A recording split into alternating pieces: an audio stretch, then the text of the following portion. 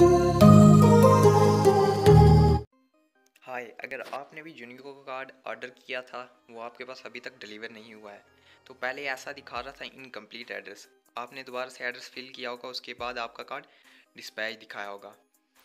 तो उसके बाद दोबारा से ये डिस्पैच होने के बाद मतलब डिस्पैच नहीं हुआ था, फिर भी ये अब दोबारा से कार्ड प्रिंटिंग दिखा रहा है। ये इस वजह से दिखा रहा है क्योंकि इन्होंने हमारे नेम की जगह, हमारे कार्ड पे हमारे पेरेंट्स का नेम प्रिंट कर दिया था जिसकी वजह से जिनके पास डिलीवर हुआ था उन्होंने कंप्लेंट की और ये दोबारा से कार्ड को चेक कर रहे हैं। जिनका नाम आ, उनके नाम की जगह पेरेंट्स का नाम प्रिंट हो गया है। अब वो चेंज करके हमारा नाम लिखकर और फिर से डिस्पैच करेंगे।